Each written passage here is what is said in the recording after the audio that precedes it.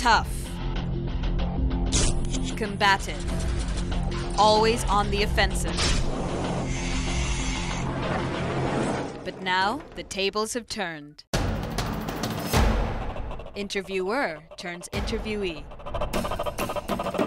And it's not always hard talk with Tim oh, Sebastian. I'm, I'm bullied by my children.